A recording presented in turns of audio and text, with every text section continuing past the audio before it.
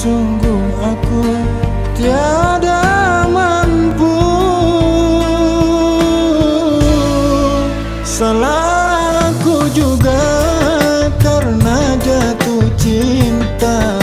Insan seperti